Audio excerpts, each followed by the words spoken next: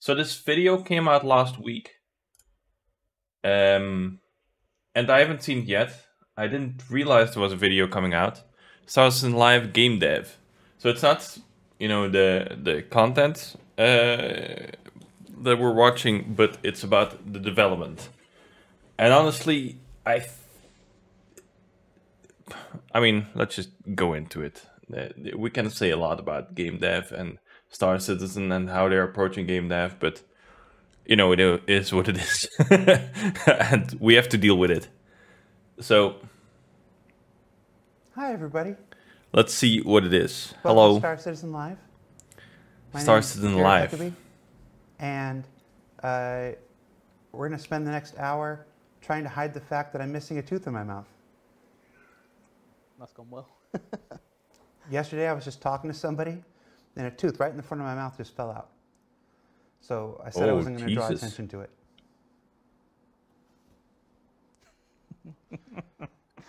oh On this man, show, he's in is one of our pain. game dev specials where we like make something for, for an hour. It's really, I really like these shows. Uh, we've got props artist three, three, Senior. senior props artist one, One. senior props artist one better than props artist three. Yeah. I'm not sure how the farm system works in the props league, but Neither are we. senior props artist. So, just as a reminder, I'm not gonna watch the whole thing. Uh, they will do- be doing a lot of uh, development stuff, and of course, they, they'll have the the chat interacting with them, giving them suggestions and everything. I just want to like get to kind of know these guys, um, and see what like if we can peek a little bit behind the curtain in that sense. I mean, they're kind of trying to reveal the like pull the curtain away and reveal everything, but I know that everything that is revealed is there's like already like another curtain behind it, uh, which is the curtain that we're really interested in and trying to peel like peek behind. So, yeah. Uh, uh, what's your name? Lewis. Lewis. uh, who's going to be making something for us for the next hour? Go to this camera. Say hi, Lewis. Hello, everyone. Welcome to I, the show. I'm, I'm still not Uh, sure if he's just I nervous can't do or this. This is your job. I can't. Give me some tips. Uh, just tell everybody who you are and what you do for Star Citizen. So I'm Lewis. Um, I'm a senior props artist, and yeah, I make props. So you might have seen Alberto last last week doing concept. Um, I do production props. So it's where we take Production props. concepts or we just make stuff up, uh, and we make the actual props that go into the game. So that's what I do. what other props are there? So yeah, so if you've never seen one of these shows before, we're just. Gonna I don't know what- what kind of other props there uh, are. He's going to do most of the talking, and I'm going to read your comments and make some little peanut gallery remarks uh, for the next hour. So yeah, so let's jump into it since we've done like four versions of the same intro already. Uh, Lewis, uh, when we had Alberto on two weeks ago, he worked primarily in Blender. Uh, what is your 3D modeling program of choice? So um, I'm actually learning Blender at the moment, but my main software is 3ds Max. So yeah, just mainly 3ds Max. Okay. Um, Mainly 3ds Max. And you have this is the editor. This isn't 3D Max. So this is the editor. Okay. This is 3ds Max. So what are we making today? So today, um, I've picked a concept that I found deep in the the recesses Oh, of my computer. nice. A little bit Um, of a medical box. I'm going to be building this case here.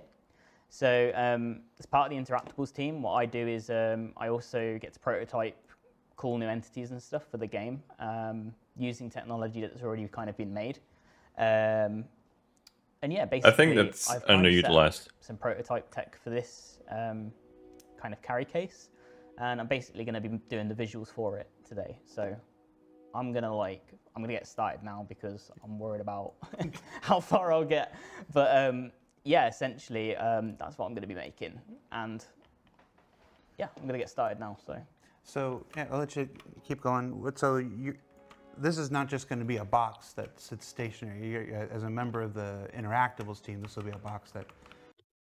It's kind of crazy. He is talking about how he's he's a little bit worried about if he's able to make this. Like, if you think about it, I don't know what he earns per hour or something, but he's worried that he, he's not gonna make it within one hour. I like again. I don't want to like put an estimate on how much he's making, but essentially it's like an hourly wage. The the cost of like having this product in game is just like his hourly wage, kind of.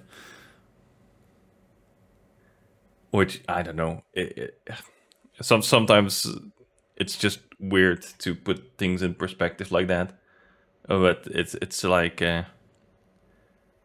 is meant to be interacted with by players to presumably to put things into it, to pull things out of it. Exactly, yeah. So um, part of what Interactables is really is kind of like a, um, an enhanced prop team, really. So what enhanced we, what prop we do team is we basically, like I said, look at the technology that we've we've already got, and we're kind of seeing how far we can push our props in terms of interactability. So whereas like a standard crate in our game would just be a static object. Um, Okay. What we're trying to do is look at how we can make it more interesting. So, for example, this one. Um, so I'm going to do a, like a first aid kit. So it's going to have like a med gun, some refills for the med gun, and some syringes in it.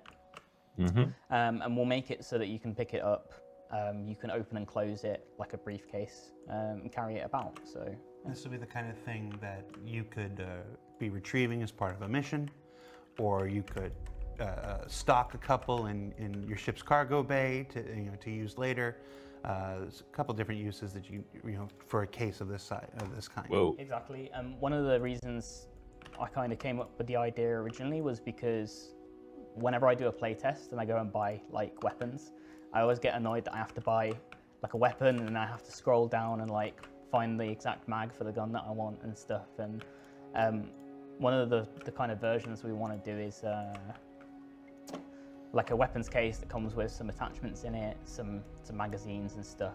Um, Like a full service kit. Just- Exactly, Just, give exactly. me, you know, we called it a, first aid kit. That's legitimately what we're looking like a, like a whole kit. You would just Yeah. get this item, and you would have everything that you need to go out for. Yeah, because in, in real life, if you wanted, like, you know, you wouldn't go and buy each bandage individually from the shop and go to the counter and uh, buy one bandage at a time. You'd buy like a full kit with everything you needed to get started. So that's kind of the idea that kind of started this stuff.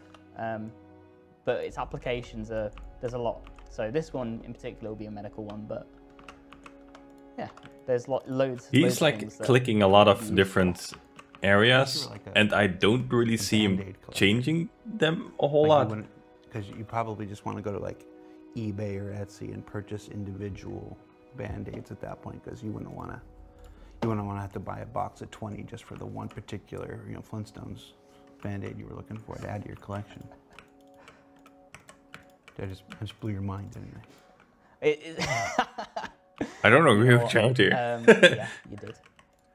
The problem Like- is, uh, I'm a very, I find it very hard to focus on two things at once. So when it when it comes to like modeling and talking at the same time, my brain kind of just like shuts down, which is why I'm so like if there's something if i need like uh not too long ago there was like uh my girlfriend a little a little bit of a uh she cut herself uh, while cooking. So we need a little bit of a uh how do you call it in english? Plaster? Like to, to, to put on the wound so it kind of can heal. Um or maybe it's already like a band-aid.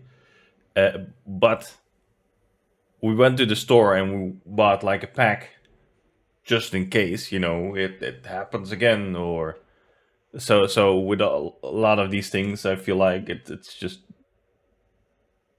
better to have like unless you know you already have a case and you don't need all of those then of course you can refill them individually. But if you're starting out with nothing then it's a lot nicer to have like a box. So it, it's yeah. What happens when you're doing 3D if someone's at like um, giving you feedback over Teams or something like that? You end up doing this. You just pan around the model for for an hour and then nothing. but yeah, um, Uh, Swedish Fish Tank uh, from the chat says, aren't most of these programs interchangeable? Yeah, for sure. Um, like I know the Bro. core fundamentals of like 3D. So learning Blender isn't as hard as it would have been if I, it was like the first program I ever learnt. But the kind of the operations you do in them.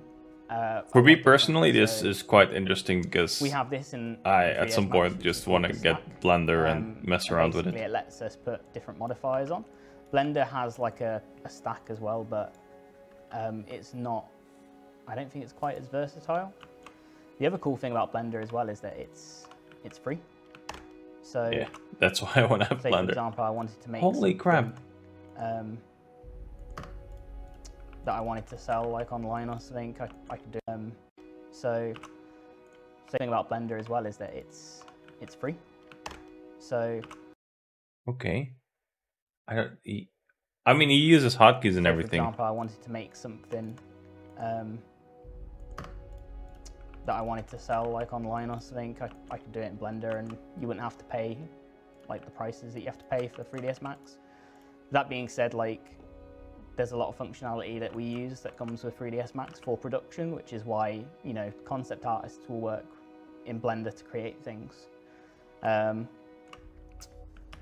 because they're not going directly into the game. They're kind of just being um, used to kind of show It's us so what, to- weird. what we can do. I'm just undoing because like I've realised I've done the bevel the wrong, the wrong size.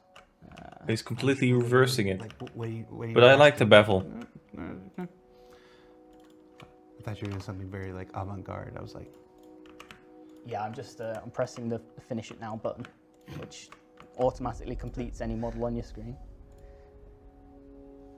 working here at Cloud Imperium, yeah, uh, uh, on it. He worked. He spent the entire hour working in uh, Blender. Um, generally, we have a magnificent the that program. They suite of tools. Star Engine, Saw, Dilbert, who young Yeah, musician like he's so like about, that. like, all of so this. This is, uh, it's like this, but uh, uh, we do try where we can.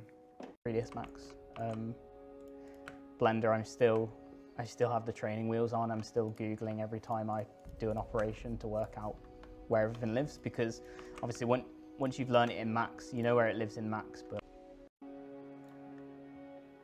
so yeah, what I'm doing now, um, basically, I'm just trying to get the kind of main shape. So there's like a shell that sits around it. There is a main right. body, and then I need Oh. to separate it off so that there's like a Can't wait to see this in game.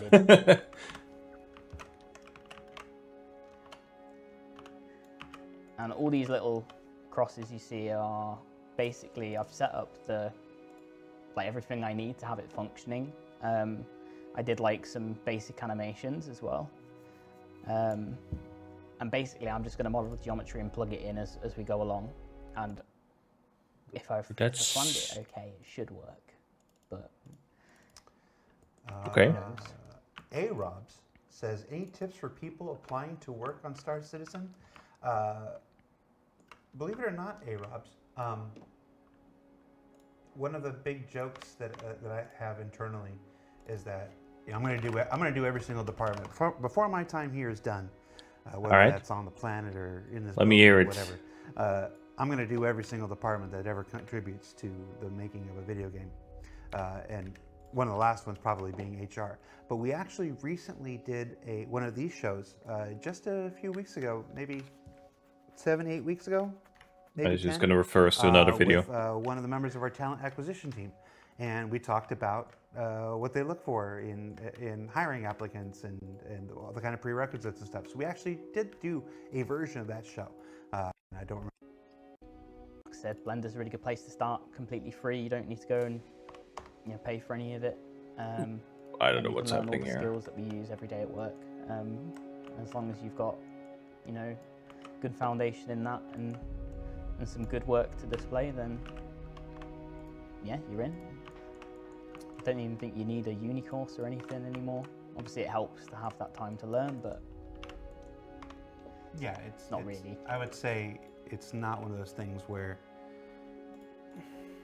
I mean, I guess one of those things college where the portfolio is like is just a lot more important. if you learn if you learn and you grow from the experience but there are there are plenty of people i've known in my life you know i'm almost 50 years old at this point i've met plenty of people who have a degree and it was very clear degree and stuff like that but it doesn't it's not a those things where you can tell me a version of this and you know show me your process and Let's stuff. So we, we can, see can if we evaluate can- those things. So a degree is less useful.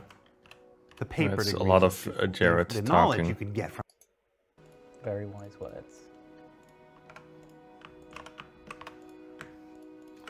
So what are we doing now?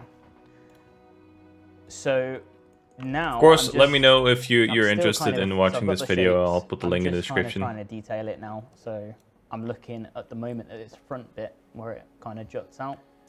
Um, this is going to be very more- rough, by the way. So this is obviously by all means, by all means, uh, not going to be perfect. But you know, something like this can take you know days, even weeks, um, depending on Weeks. functionality and if, uh, if DataForge is behaving.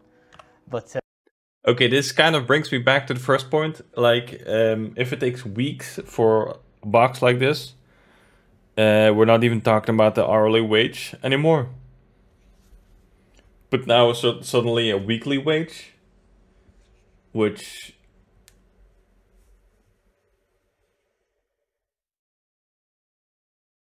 like I again I don't want to like put an estimate on their um salary, but can scale up where from a couple hundreds to thousands of dollars for a box. I understand that some things need to be modeled a little bit more in detail, but I'm also trying not to trying to criticize because of course it's necessary. Like maybe I, I shouldn't say it in such a critical way, but it it's it I don't know. It's it's I, I find it a very fun perspective. Uh, again, it's not a criti- criticism uh, towards the, the progress of the game currently, uh, because it's a little bit in a sensitive time. That when this video releases, like the uh, 319 patch has been for most people um, kind of mediocre, like decent at best. so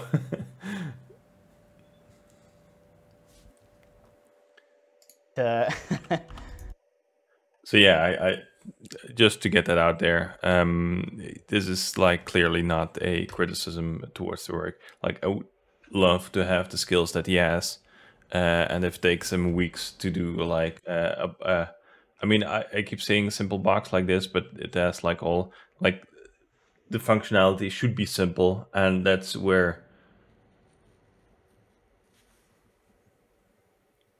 designing stuff like this, where it's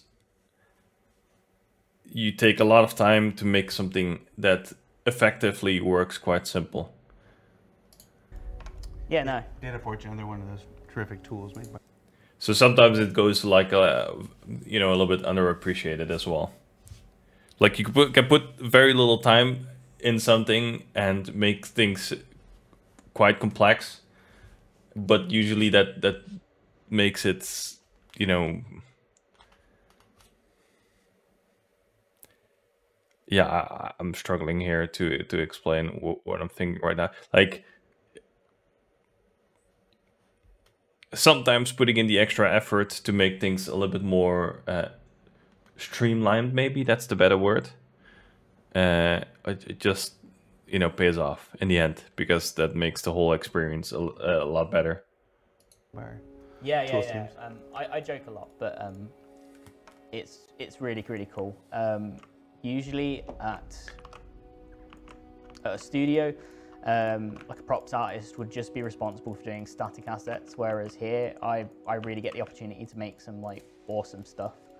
So um, I think I think in some of the uh, previous uh, ISCs, you've seen stuff like the the coffee machines, the posters. Um, if you've Yeah, yeah, got yeah. the new Alien Week gift, that's also something I got to work on and, and experiment with, which was my first kind of.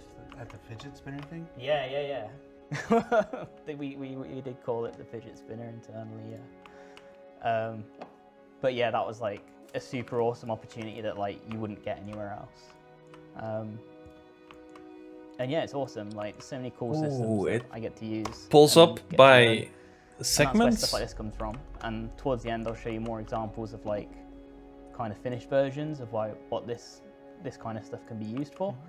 Um, but yeah, the the future's bright. The future is right. Lauman68 asks a specific question, but I'm going to answer it because it applies to just about everything. How long does it take to create a plant or a tree? Um, uh, how That's long very- yeah. anything takes in video games is incredibly subjective. Um, we're not telling any tales out of school there. Uh, He's gonna go on, on a run here. I'd have to think about a bit more. Um, you know, Sorry, working Jared. I is- understand where you come really from. nice. It was It's more about, a little bit of a weird question, in my opinion. To create forms, as opposed to problem solving to create, you know, functionality and and uh, you know, the entire object. You know, you've got a starting point, which is really really cool. You know, you can see these are like latches. There's a handle that you can carry it with. Um, you know, it's got branding on it. You can tell it's a medical crate from the branding. You know, maybe the colours. Um, you know, obviously the text. Whereas, you know, if I came on this live stream and I didn't have a concept, I probably would spend Oh, most of the hour just spin, spin, spin. No, co- concepts great for a lot of reasons, but I think chief amongst them all is somebody else goes through a certain amount of hell instead of you. I don't know. They make it look easy. It, de- it depends. Nah. It depends. Like, like, well, I mean, even when Alberto was doing his, uh, I'm gonna uh, two weeks fast forward a little bit you more. know, uh, uh, 'cause- two of them were were, were striking, had, had, had very striking silhouettes. And you're like, okay.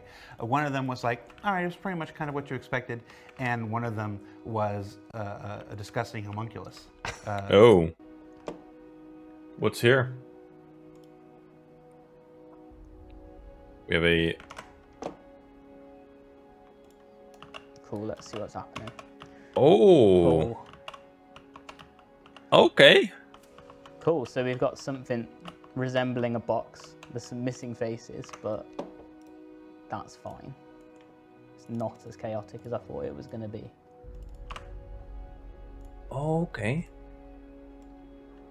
It's So a lot more simple of a box than I from working initially expected. 3D Max, you're able to just, with a couple button clicks, get a, a version that opens up in the editor. Yeah, so you imagine, um, well, no, imagine you just open the program, right? You'd have to go File, Export, uh, you'd have to configure all your settings and, All right. and make sure it's the right format, make sure that it includes animations, it includes geometry, it resets like the, we have a, a thing called Xforms, which is basically how it's scaled. Like when, when I look down here, it says 100, 100, 100. Um, Uh say I did that, it's 208 times, uh, it's at 280 scale. So you'd have to basically select another option for that, and it's a nightmare. I've got it bound to this Control Shift E. Control Shift E does some stuff, and here it is. Um, so, say for example, I wanted to do a stretch limo lid. he has become the long boy. There we go. We've got a toolbox now. toolbox, toolbox. Anyway, Box for tools. yep. It's very, very fast. Um,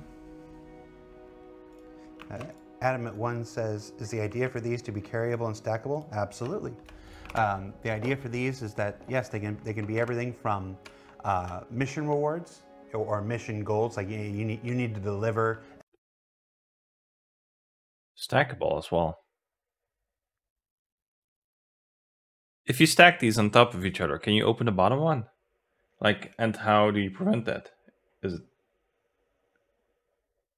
maybe just my more technical brain at work right now? Like, how do you detect if some if it's in a stack or if it's openable, especially with things like you know if you if, put like your your medical gun or something on top of it hmm.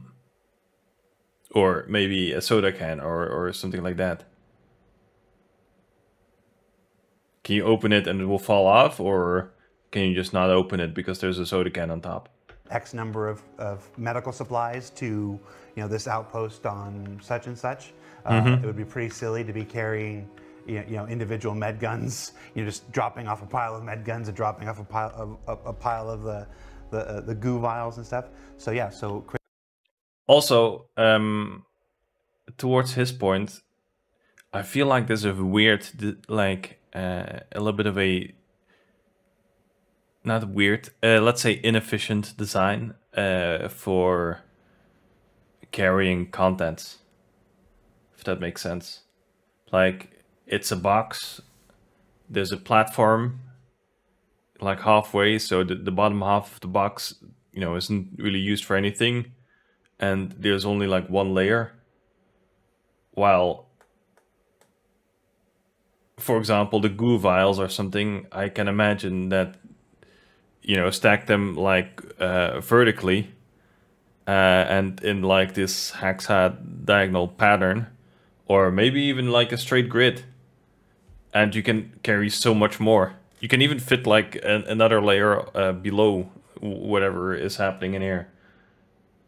So is it the case that we can only carry these boxes and they kind of fit quite little?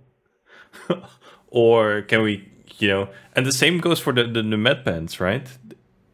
They can be stacked in the same fashion, similar fashion. Would also be cool is that um, the box would have like a different compartment for the med gun or maybe two med guns, you know, like crates uh, like these can be the objects of like for example right here, uh, if you like make the, the lid a little bit uh, smaller, and then this compartment, this side can open up for a med gun or maybe two med. I don't know how big the med guns are compared to this, but I I th- like these fit in the med gun, and that's pretty much the whole length. So I think there's like two med guns that fit in here. So if you have like vertically these two vertically stacked all over the place, like one layer after another. So you know maybe you need for for the the, the med pens you need to reach uh, reach down for another layer or something. Uh, or maybe it's like 50-50, right? It's like you know this side is uh, med pens and this side is uh, goo vials, to put it bluntly. That would just be a lot more useful if you ask me. Again, Toolbox. I'm not designing it, but Anyway, box for tools. yeah. Um, yeah. So I can like oh, here we have a, a med gun. Yeah, so it definitely fits on the side, but I'm like maybe you have to like rotate it to fit another one. But it could work. Also, you can put it like maybe one on each side. I can show you now, like, it's not just a mesh. This one is something I've been developing for a little while. Um, so the animation's obviously super, super basic right now um, because it is just like, you know, me bashing it out in one hour on a stream. But this is, you know, its most basic form, right? You've got a box, you can pick it up, you can carry it. It's actually quite big. so, um, yeah, the, the metric obviously hasn't been decided on for these yet. It, we're still kind of testing it and stuff. Um, but yeah, we'd, we'd adjust the grips. We'd probably make it a bit smaller. Um, but then you can take it on your ship. Uh, you can open it. Opens up, and then you've got your your stuff inside. Uh, I can't even pick them up for some reason. Ooh. Oh, I know why. And just to counteract uh, on, on my point uh, from earlier, like this seems pretty flawless to make this like no other team or anything needed except for the, the concept team that that gives you the concept and says you know can you guys make this uh, in the game uh, there's, there's no real other team that's kind of restricting his work uh, so if he wants to like have a uh, to, to make a couple of toolboxes uh, similar to this, then you can just copy it, you know, mix up some some uh, so some geometry maybe, or like just uh, change the paints and the, the branding on the outside, and he can make one for multi tools. You know, having your multi-tool and a couple of these um what's it called? The the the the, the things the attachments uh, that come with it that that define its behavior. Uh, and and of course some charges because right now we don't have a multi-tool charge but like in the end we will have a multi-tool charge. So yeah. Broken. Yeah, so basically, um, we have like physics proxies on these, and basically, this uh, the collision for this box at the moment is currently blocking my ability to i see what you mean yeah, yeah. an accurate hit onto the items. So he's gonna fix that. to gonna test it out Just take the top of this. and it let's see temporarily. Uh, I don't know the big stuff, but The yeah, big it- stuff. It, more often often than not is the smaller, the smaller bits and pieces. Um. So yeah, I'm gonna try and start putting decals on this now. Think I See, can't I see. what it's called right now. For me personally, this is the, the less interesting part. Um, I mean, uh, it's Some good. smacking symmetry modifier here that could be used, so we can probably make the whole thing a bit smaller. Um, but yeah, lots to change on it. I can actually still pick this up with it open, so Oh, okay, you that's imagine that's you got also like a tray of nice. items. You could be walking through your your ready room on your ship and be giving out weapons to everyone. Well, from it. now it's a personal. Yeah, assistant that- with that- Yep, exactly. There's another another thing to worry about. so bring your Kevlar med box. That's another Okay. thing I want to do. Deployable cover. That would be cool. we, gotta get, we gotta get back. Never mind. That's the brand of the med pens. And yeah, Oh, what? patches and stuff. Um, we can even item a lot more. Oh, wait, attention. wait, wait, wait, wait. What? uh, the game didn't like it. So I had to go and reduce them quite a bit. So now it should be able to close and open normally. Now, How does he go from what we see see a little bit later? This is another one of those things. Doing good, sweetie. But yeah, um, this is kind of like you know a very short look at how we'd start approaching an asset, um, and we'd obviously pay a lot more attention to like the forms. So it would probably be we'd make it like this, and then we'd look at adjusting metrics and stuff like that to make sure that it was correct. Um, and yeah, so I I've done like a few different. Their. So keyboard this is actually is loud. I I started this morning. So same as Oh. before, I kind of started from scratch, um, just like I did on the stream. Except this one, I started at nine when I got in this morning. Um, so you can see it's it's a lot more kind of accurate. I've got some POM details that aren't correctly positioned, which disappear, which is annoying, but but you can start seeing how we develop the shapes and stuff and get some cool details in. You know, we get these branding decals and stuff in, which are really important as well. So we've got like the Brentworth Medical Centre stuff. Um, we've actually got a really Oh, cool was Brentworth again? which we set up with a lot of the props now. Um, Is it where we can basically pick specific brands in the game that have had um, a branding pass. So I'm going to do Covalex, for example. If I apply this, we have certain logos and stuff on boxes that can change depending Oh. on the company. So, for example, the, the logo changes to a Covalex That's logo. really cool. Same as with the labels as well. And the well color scheme of it changed. and too. the color scheme yeah exactly um, and yeah there's a lot of them Show me So we another have one. Brentworth let's, have, let's make it a CureLife one Ah, 'cause that's That's kind of similar. Okay. And this one opens. This one Yes. does open See, it's got the latches. so this one I developed a bit more Oh. Oh, okay, okay. so uh, with the way the animations are set up um, obviously I did some very very simple latches but you know starting today you're not going to get very something very complicated I'd like to spend like you know at least a day or two making some really cool animations but just in a short time, you can see like we can make shelves that move up. We can position them in different ways. Um, you know, we can have more complex latches and stuff. Um, we can even item port in keypads and stuff, so you can have like a lockbox type thing that you can carry around with you. Um, Well, that'd be cool. Yeah, yeah. and yeah, this one's a bit better. Where the box is is, compared is kind of one. locked, so you can like. Is there a third one? There- There is a third one. You could open it in your hands as well. I don't know if that will stay. And then here's an example of like a final. So you might have seen this in the verse already. Um, this is actually a socket set that we have in a few on the cargo areas. stations. But I painstakingly went through and physicalized every single item in this case. so Oh, that's great. we've got like a That's full great. kind of engineer's socket set. Ah, I wish you so could you can whack take something out with it. every single one of these and examine them.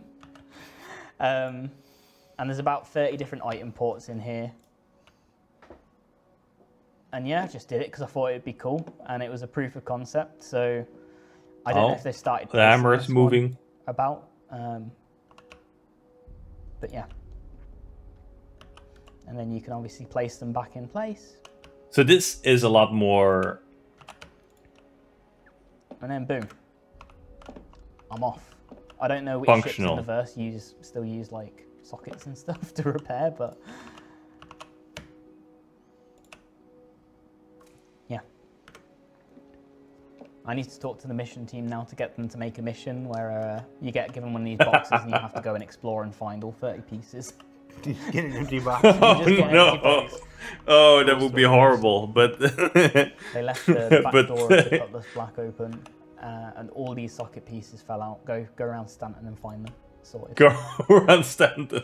But yeah, these are just a couple of examples, uh, and obviously, like we'd love to do more like military ones, uh, you know, mining ones, medical ones. Um, Listen, it, I appreciate the medical one, but they're not like showcasing um pops open and spins them around. like medical one you were working on where Um, the like the, the showcase is clearly not about uh, the the functionality of the medical box. Uh, the showcase is about how a uh, property or a, a prop, I guess, will uh, be very roughly finished and put into game, and I really like that. It's like he says, he he worked like a day, and he has a has a couple of boxes he can put in game. I don't know if it's gonna break the game, but it's at least cool to have a couple of these boxes.